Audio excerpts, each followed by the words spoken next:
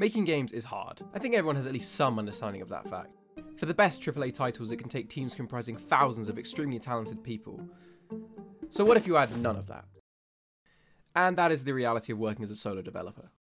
Of course, your games aren't as complex or beautiful as those AAA titles, but if you want to see success, it still requires you to be at least proficient in programming, game design, sound design, UX modeling, 3D modeling, UI design, texture, Foley recording, marketing. Am I doing that bit right? And a whole bunch of other stuff, but I won't get into that, otherwise, we'd be here all day. Not to mention, you're often doing that on top of education or work or both. I'm so tired. And even after that, you have no guarantee anyone will actually buy your game. For my game, Build Fight Game, which is a class based FPS game set in a Minecraft style voxel world, I had to implement a performance procedure generated voxel world system, as well as proper netcode, which includes support for manipulating the world, firing your weapons, moving around, all while minimizing the chances of people finding exploits. And while we're on the topic, one of the best things you can do to support me in my project is to wishlist it on Steam using the link in the description. This makes sure you'll be notified when it's released or goes on sale and helps inform the Steam algorithm that people are actually interested in the game and it's not just shovelware. Thanks! But even after all that, all the mesh generation and netcode, that's not the worst experience I've had working on this game. Programming is my passion. Even when it goes wrong, there is a certain catharsis in fixing stubborn bugs, and I just can't get enough of that. I feel like I'm constantly learning new things and getting slightly more proficient, and that's awesome. So what is the worst part? Maybe the art? The modelling? The sound effects? uh, no, no, no. It's this. Yep, that little innocuous little title screen represents the worst single experience I've had working on this game so far.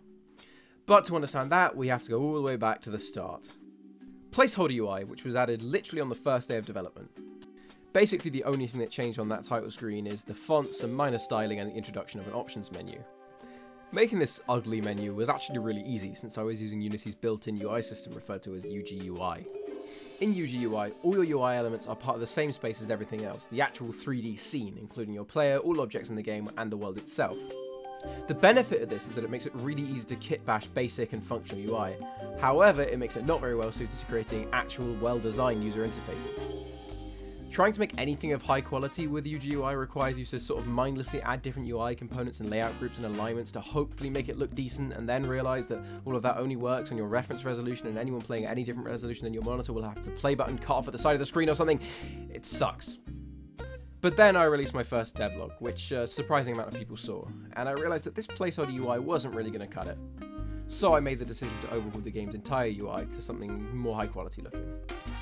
There was a brief moment where I considered doing this with UGUI so I could avoid having to rewrite all my UI code to support the new system, but the idea of desperately wrangling with UI components till I have something half decent did not appeal to me. So, what's the alternative? Well, there's a lot of third-party UI libraries for Unity which offer a better experience. However, money. So instead I opted to use Unity's own UI toolkit, a free framework created by Unity to replace UGUI. The principles of UI Toolkit will be familiar to anyone with experience in web design, with Unity using their own markup language UXML and stylesheets USS to define UI rather than using GameObject. That's then nicely rendered on top of everything separately. It also includes support for a visual UI builder where you can change things using a nice GUI rather than having to write all the UXML by hand. Great! In theory, this workflow makes creating good looking UI a breeze. And at first it did. I was able to create this updated title screen, which looks and feels a thousand times better than the previous placeholder title screen. Then I just had to make the options menu and... I am going to commit acts of violence. okay, some context. In my game, I use a custom built system that stores data in a configuration file. I did this so I could give players maximum control over more complex settings without putting it all into an options menu, and also to make it easy for me to expose things to that config file. Since in developing the new UI I had to rewrite all of my UI code anyway, I decided to create a system to automatically generate the options menu based on which values from the config file I wanted to be exposed. In theory, all I'd have to do was add it to the editor and define how I wanted the data to be represented and that'd just put it in the options menu, easy peasy. In theory. In practice, I encountered the toughest battle of my life. The built-in drop-down control. Yep, that's right. A f drop down. But why was this such a pain, you ask?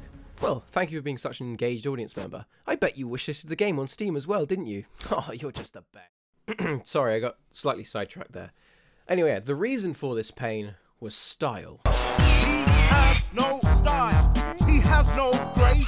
As I kind of touched on earlier, the UI toolkit lets you use style sheets, which is basically the Unity equivalent of CSS. Style sheets are just used to define how your UI looks. It could be anything from font size on text to the background image used by a button. For my workflow, I mostly use classes to style my UI.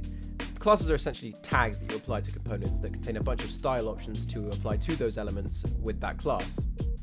You can also detect the class through script, which I use to create some nice functionalities such as the sound effects when you hover over or click on an element.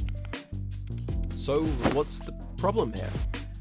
Well, in truth, they're kind of almost isn't one until you start to use some more advanced components.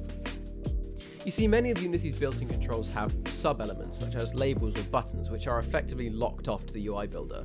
A dropdown is just a dropdown, even if behind the scenes it has a label and a separate container. And that label and separate container do not have their styles available for me to modify. I can't apply classes to them, so I can't make them look how I want them to look. That is annoying and stupid. There are two primary ways to get around this. The first is to create these elements yourself from scratch. I'm not doing that. Or to override the classes already used. You see, those baked in sub elements all have their own built in styles, which I can override using my own style sheet. Or at least I should be able to override them. I can override them, right, Unity? Just kidding, yeah, no, I can override them, it's fine. After a little too much pain, here is a properly stylized dropdown and...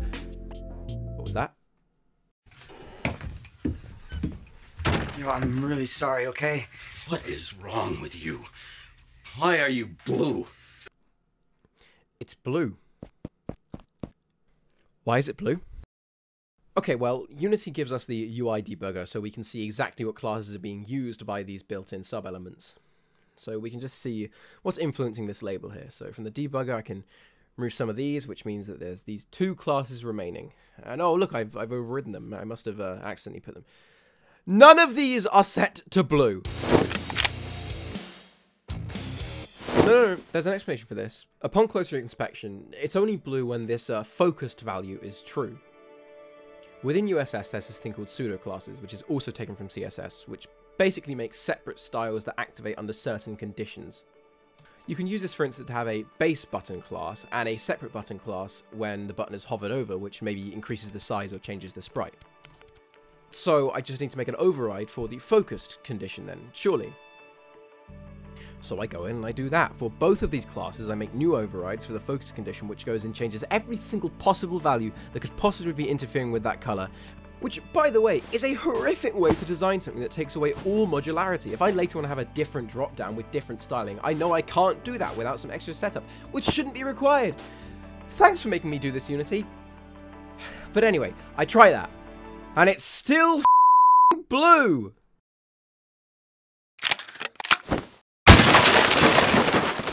At this point, my soul was filled with nothing but rage. I spent hours debugging this, doing what was already my least favourite part of game development. I mean, I seriously do not like doing UI work. So I took a break. Smart. And then, when I got back, I did this.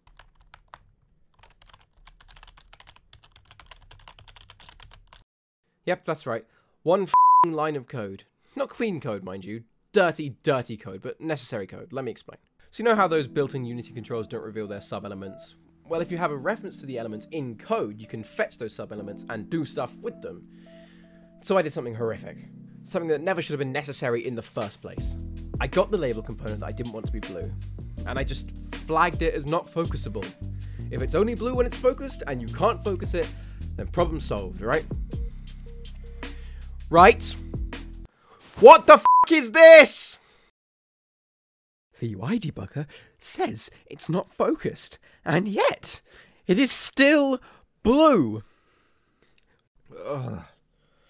What do I even do at this point?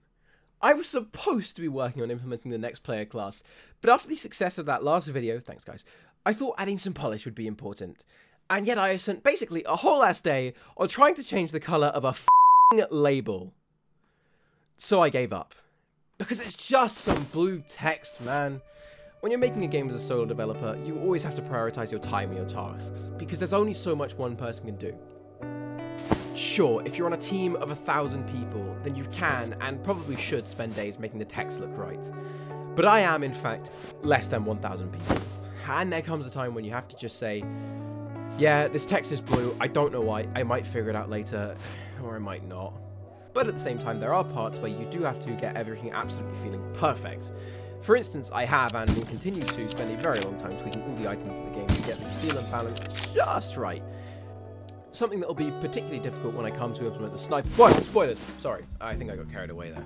But if you want to hear about that, you'll just have to subscribe for the next video. Or if you can't wait, then uh, you can join my Discord where you'll get consistent updates about the game's progress.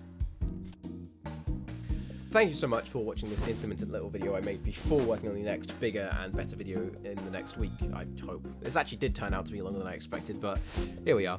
Once again, remember to wish us the game on Steam. I've been Peter K. Codes, and I'll see you next time.